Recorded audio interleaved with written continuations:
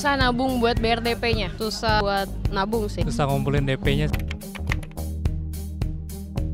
Beli tanah, beli rumah, sama umroh. investasi, transportasi pribadi buat masa depan. Beli tanah, umroh haji sekeluarga, traveling lah. Beli tanah, jalan-jalan keliling dunia. Pengen dong. Nabung sama cicilan, gaya hidup. Maintenance duitnya, lokasi. Adik gue yang harus gue biayain, liburan ke sana ke sini. Ngumpulin DP, niat traveling.